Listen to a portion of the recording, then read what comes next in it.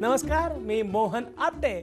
आपल्या सगळ्यांचं सहर्ष स्वागत करीत आहे आपल्या आवडत्या कार्यक्रमात. ह्याला आपट त्याला आपट काय लागलं? नाही नाही बॉल घासतोय. ओके. तर आज आपण भेटणार आहोत जाने माने पैसे खाने वाले क्रिकेट यार.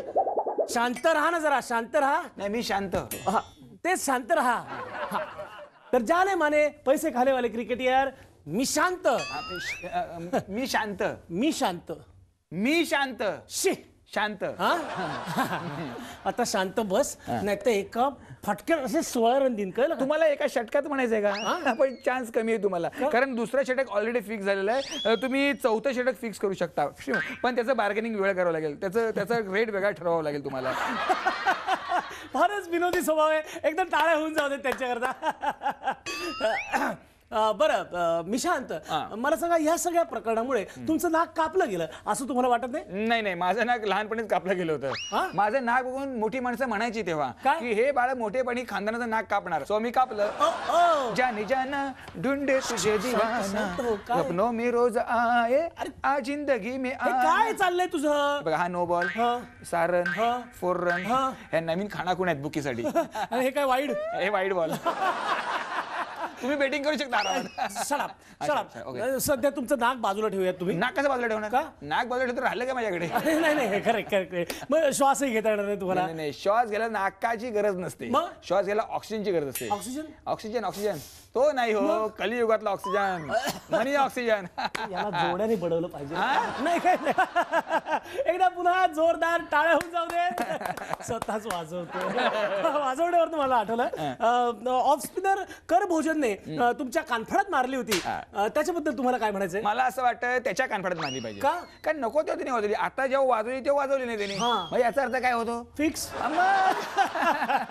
मला जर कळलं असतं ना हा माझ्या कानाखाली वाजवणार आहे. मी बेटिंग लावली असती. कानाखाली वाजवण्याचे किती पैसे? त्याच्यावरून पैसे मिळाले असते ना? ते माझ्या हातातून गेले ना त्याच्यामुळे मूर्खपणामुळे. फारच निर्लज्ज माणूस आहे. नाही फारच चांगला माणूस आहे. बरं तुम्ही जास्त नका ना शांत बसा ना. टेलिकास्ट होणार आहे हे सगळं. ओके अं, तर मला पुढचा प्रश्न तुम्हाला असा विचारायचा आहे की शांत बसा जरा. हा मला पुढचा प्रश्न असा विचारायचा आहे की एक्झॅक्टली कशाबद्दल फिक्सिंग झालं होतं? एका ओव्हरमध्ये सोळा रन द्यायचे होते. काय? शॉक कशाला घेताय? अहो ह्या करता तुम्ही साठ लाख रुपये घेतलेत? म्हणजे काय? अरे कोण मूर्ख बुकी आहे रे तो? अरे हा ऑलरेडी एका ओव्हरमध्ये पंधरा रन द्यायचा. पुढच्या एक रनसाठी साठ लाख रुपये. मला तेच म्हणायचंय जेव्हा मी पंधरा रन एका ओव्हरमध्ये द्यायचो तेव्हा मला किती पैसे मिळायचे? मॅच फी ते किती असणार? पण टेबलाच्या वरून खालून पलीकडून अलीकडून काय पैसे मिळायचे का? नाही. जे सगळी लोक कमवतात. मग आम्ही क्रिकेटरनी का कमवायचे नाहीत? त्यांना कुठून पैसे मिळणार? मग सोळा रन देऊन जर मला साठ लाख रुपये मिळणार असेल तर मूर्ख कोण आहे? बुकी. मग ओ, ओ, जानी जाना. शांत बस. शांत बस. तर आता मला पुढचा प्रश्न असा विचारायचा आहे. अं, की अं, संकेत कसा ठरला होता? की तुम्ही फिक्स करणार आहात ही मॅच हा. ते कसं कळणार होतं बुकींना? ते मी आधी संकेत चव्हाणला सांगितलं? होतं. ते म्हणजे हा म्हणजे काय झालं? आमचा रुमाल पडणार होता.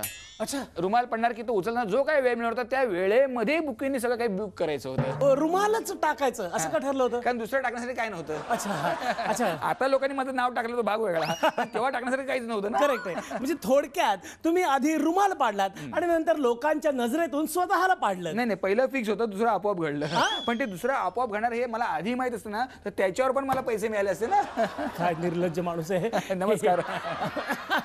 हे एडिटमध्ये बघा काय करायचं नाही अजून एक एक प्रश्न विचार अजून एक हो हो अजून एक प्रश्न. मी विचारणार आहे अजून एक प्रश्न तुम्हाला. मला सांगा क्रिकेटमध्ये शिकण्यासाठी सगळ्यात महत्वाचं काय? म्हणजे कुठली गोष्ट आधी शिकावी माणसानी? बॅटिंग. बॉलिंग आणि बॅटिंग काय लहान मुलं पण करतात.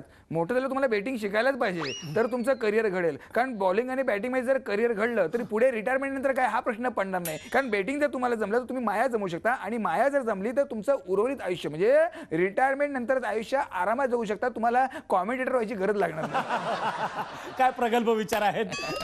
तर इथेच आता आपली मुलाखत नाही नाही. नाही अजून अजून एक प्रश्न एक एक प्रश्न. अजून एक प्रश्न? एक प्रश्न. Okay time okay okay. अजून एक प्रश्न विचारायचा आहे मला. म्हणजे टॉवेलचा महिमा कसा असतो बघा. म्हणजे एका टॉवेलमुळे एका ऍक्टरचं करिअर घडलं आणि एका टॉवेलमुळे एका क्रिकेटियरचं करिअर बिघडलं याच्याबद्दल तुम्हाला काय नाही म्हणायचं? हे मला नाही पटत का? आहे मला सांगा ना म्हणजे एका टॉवेलमुळे त्या टॉवेलवर नाचून त्या ऍक्टरचं करिअर घडलं. पण त्याच्यापेक्षा जास्त प्रसिद्धी या टॉवेलमुळे कोणा मिळाली? मला मिळाली. त्याच्यापेक्षा जास्त पैसा या टॉवेलमुळे कोणाला मिळाला? मला मिळाला. त्याच्यापेक्षा जास्त टीआरपी चॅनलवाल्यांना कोणामुळे मिळाला? माझ्यामुळे या टॉवेलमुळे मिळाला. मग मला सांगा मूर्ख कोण आहे? टॉवेल. मग? मला आता सांगा तुम्ही तुमच्या भविष्याकडे आता कसं बघताय? मनापासून सांगतो हा प्रश्न मलाही पडलाय. मी सांगू. तुरुंगाच्या खिडकीतून?